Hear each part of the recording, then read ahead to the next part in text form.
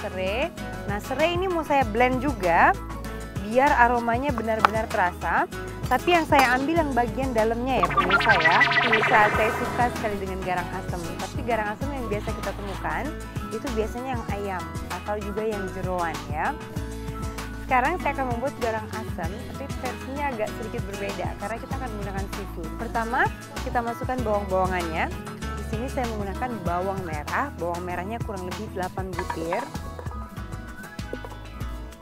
3 butir kemiri yang sudah dibakar terlebih dahulu atau disangrai.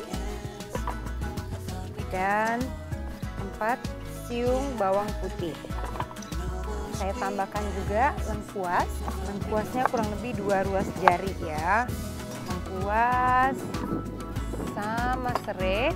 Nah serai ini mau saya blend juga biar aromanya benar-benar terasa. Tapi yang saya ambil yang bagian dalamnya ya pemirsa ya.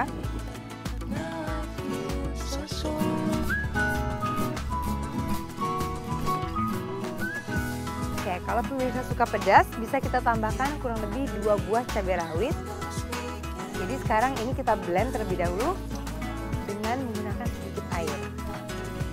Airnya 50 cc, I think that should be good.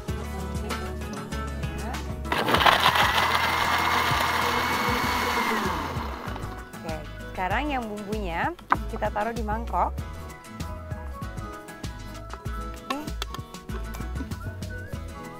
Kita tambahkan garam, lada, ya garamnya satu sendok teh. Terus lada secukupnya. Seafood. Nah seafoodnya ini variasinya bisa macam-macam ya. Di sini mau saya tambahkan yang pertama adalah udang. Ya udangnya mungkin yang ukurannya uh, jangan terlalu besar. Karena ini kan nanti mau kita bungkus ya. Udang kemudian kerang darah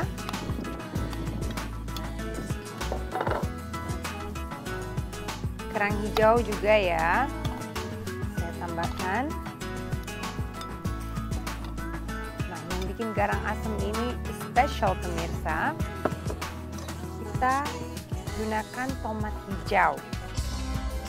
Tapi selain tomat hijau, untuk lebih asam dan segarnya, akan saya tambahkan juga belimbing wulu.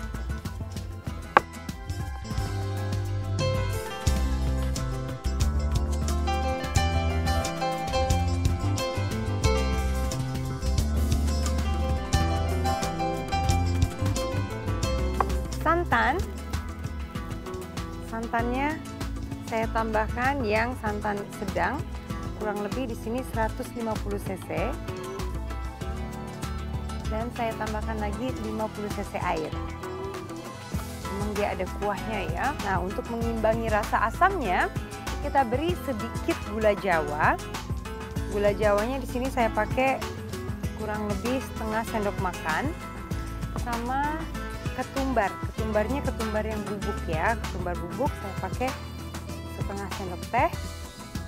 Tadi masih ada sisa dari cabai rawit. It's so pretty kalau kita padukan dengan warna tomat hijau, juga belimbing bulu.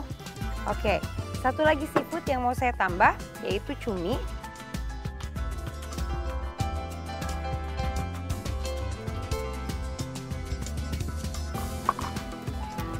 Oke pemirsa, adonan garang asamnya udah siap ya. Nah ini mau saya diamkan terlebih dahulu, kurang lebih 30 menit baru nanti bisa kita bungkus. Sudah 30 menit ya pemirsa ya. Jadi sekarang mau saya taruh ke dalam, uh, mau saya bungkus ke daun pisang. Tapi sebelumnya mau saya peraskan sedikit jeruk nipis dulu.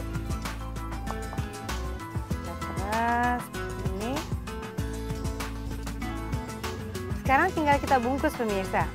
Jadi ambil daun pisang.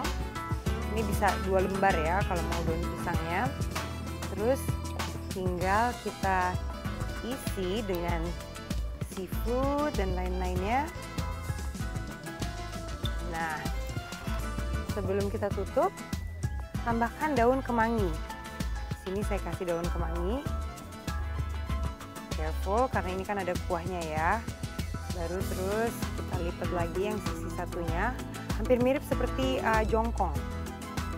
Kita lipat seperti ini. Lagi yang satu sisi. Baru sekarang kita tutup dengan menggunakan tusuk gigi atau gunting.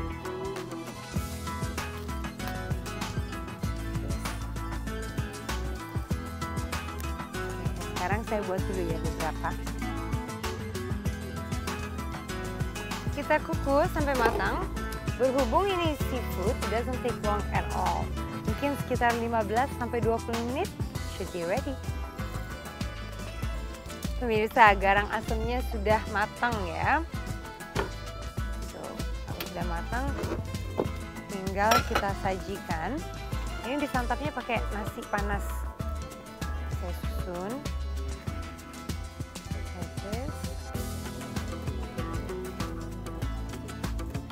Hot, mungkin satu saya buka ya biar pemirsa bisa lihat dalamnya seperti apa.